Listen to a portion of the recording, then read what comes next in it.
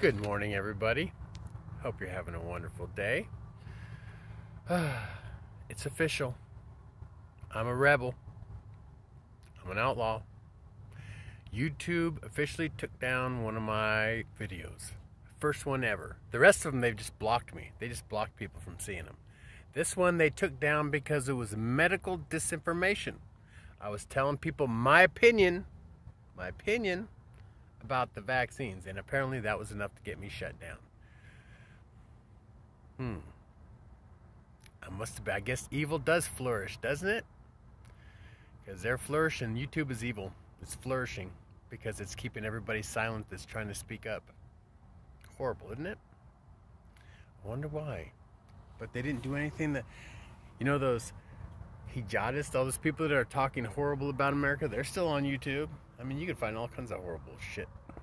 People talk about America, about, oh, good God. People can say, talk about openly hurting Donald Trump, the pre- president, but, and they're still on run around.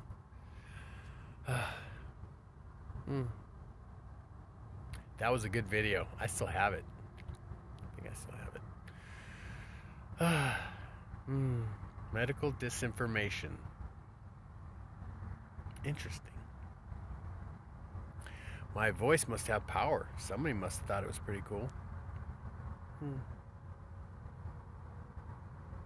I like it. They feel threatened by me. You know what this means, right? They're so stupid.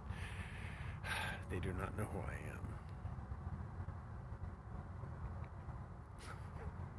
You can't silence God. And you can't silence his prophets. And you can't silence the people that are touched by God. You can't silence the people that are doing right. You can't silence them. They'll just keep going harder and longer. I've God on my side. When you have God on your side, who dare goes against God, right? Well, these evil fuckers do. Well, it actually cheered me up, oddly enough. I, th- I thought when I saw it, I was like, I got this notice this morning saying, just, I mean, I posted it last night, this morning, Sorry, we had to take it down. Fucking Nazis, man. This is communist fucking China. I love it. Not because, you know, the censorship, but it just gives me purpose. They just fueled me. You kidding? You know how many you know how many I'm gonna put out now? Oh please.